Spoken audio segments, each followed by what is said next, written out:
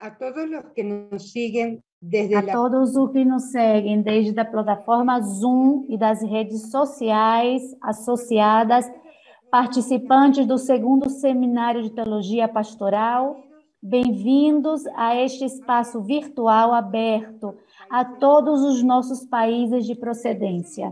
Esse seminário tem sido organizado com a participação do Grupo Ibero-Americano de Teologia e está coordenado pelo Instituto Nacional de Pastoral Teología e a Faculdade de Teologia da Escola de Teologia e Ministério de Boston College, de, com o Dr. Rafael e conta com o apoio de instituições eclesiais continentais e locais.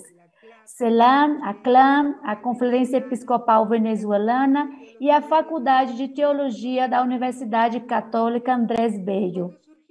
Quando surgiu a ideia de um novo encontro e reflexão teológico pastoral, años del tenido é quase dois anos de novembro de 2019, no Teatro do Colégio Mário de Altamira, com, com o doutor Luciano, pensamos em organizar um evento que respondesse à necessidade do momento eclesial que vivimos. No mês de outubro, com a abertura do Sino dos Obispos, e que hoje, providencialmente, tem recebido um presente para esse seminário, documento preparatório a realização a nível continental da Assembleia Eclesial da América Latina e do Caribe em novembro desse ano. E para nós, aqui em Venezuela, a preparação da segunda Assembleia Nacional de Pastoral, que foi postergada para o próximo ano pela situação de pandemia em- na qual vivemos. ante este nuevo tiempo que Diante desse tempo que a igreja vive, na sua autocompreensão, fruto do, do Vaticano II, que será celebrado o aniversário próximo ano, um deno- na- denominador comum é a sinodalidade, como expressão do ministério. Isso, assim se surgiu o tema desse seminário, a renovação eclesial, Caminhando assim ao sínodo de 2023.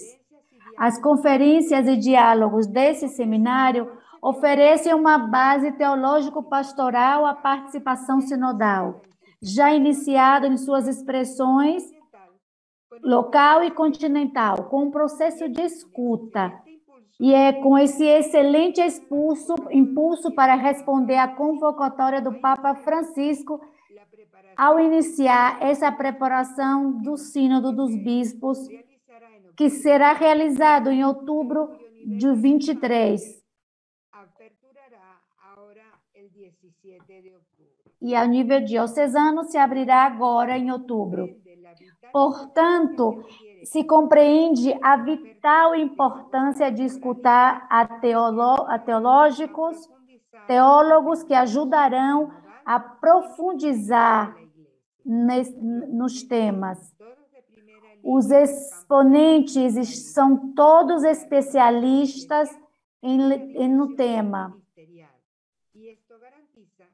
o que garantiza que os temas propostos despertem o, te- o interesse de muitos. Os formadores, professores de teologia, religiosos, sacerdotes, o convite tem sido amplo e a resposta tem sido entusiasmada. O que me enche de esperança, porque é um tema de atualidade necessário para a nossa igreja, tanto aqui em Venezuela como no continente. É fácil falar de sinodalidade, é uma palavra de moda, mas compreender, compreender e vivenciar o seu dinamismo exige uma conversão pastoral estrutural, um processo de escuta para a Assembleia Eclesial, que finalizou recentemente, gerou uma participação em diversos níveis da igreja local e continental. No entanto, aqui não acaba o processo sinodal. É necessário sistematizar tematizar as contribuições, discernir a palavra de Deus e a vida da igreja nos novos caminhos que se vislumbra a uma renovação eclesial e maior fidelidade aos desígnios do Senhor.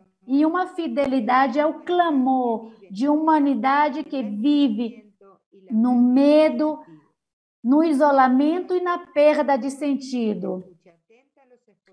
Convida a todos a uma escuta atenta, uma reflexão diante da realidade e uma abertura diante da novidade do Espírito que se manifesta. Que Maria de Guadalupe nos anime a ser fieles. E novamente, bem-vindos a todos.